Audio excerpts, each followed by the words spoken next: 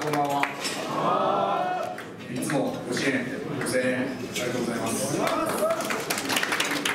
今シーズンも、えー、自分たちは昨日からトレーニングが始まりました、えー、皆さんが想像している通り厳しいシーズンになると思います、えー、ただ先ほど鳥山さんも言ってましたけどいいスタート切れるようにあの昨シーズンの、えー、序盤のようにない。ように開幕戦しか勝てるようにリ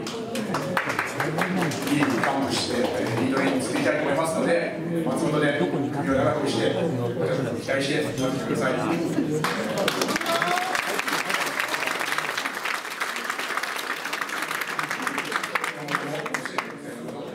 します。